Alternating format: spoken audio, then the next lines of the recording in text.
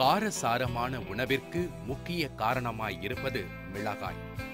நம் இந்திய சமையலில் மிளகாய்க்கு சிறப்பான இடம் உண்டு எனலாம். இதில் ஊசி மிளகாய் குண்டு மிளகாய் குடமிளகாய் என மூன்று வகைகளை கொண்டது. இவைகள் காரத்தன்மையால் வேறுபடுகின்றன. விவசாய தொழிலில் ஆர்வமுள்ளவர்கள் மிளகாய் சாகுபடி செய்தால் நல்ல வருமானம் பெறலாம்.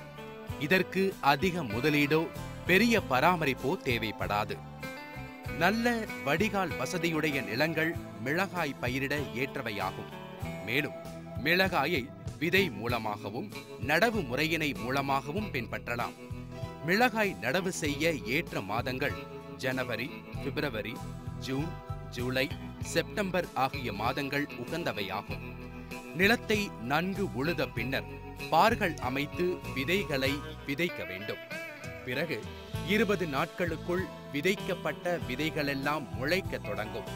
பின்னர் மாதத்திற்கு இருமுறை களை எடுக்க வேண்டும்.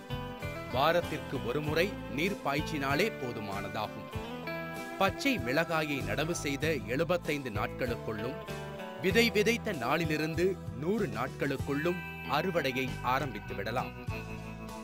மேலும் பச்சை மிளகாயை தொடர்ந்து இரண்டு மாதங்களுக்கு மேல் அறுவடை செய்து கொண்டே இருக்கலாம்.